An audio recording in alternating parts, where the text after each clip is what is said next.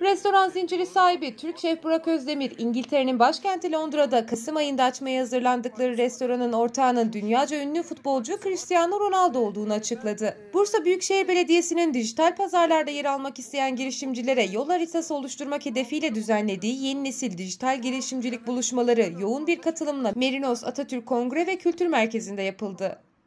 TOBB Türkiye E-Ticaret Meclisi Danışmanı Adnan Akgün ve dijital pazarlama uzmanı Mustafa Sönmezay dijital girişimcilik ve yeni nesil iş ilanları Türkiye'nin girişimcilik haritası, proje ve fikir geliştirme, sosyal medya pazarlama, e-ticaret, e-ihracat, dijital pazarlama, yasal düzenlemeler, şirket kuruluşu gibi konularda genç girişimcileri bilgilendirdi. Programın ikinci bölümünde ise dijital pazarın önemli Türk markalarından biri olan Sefa Merve'nin kurucusu Mehmet Metin Okur ve bir sosyal medya fenomeni haline gelen restoran zinciri sahibi Burak Özdemir kendi deneyimlerinden örneklerle başarıya giden yolu anlattı.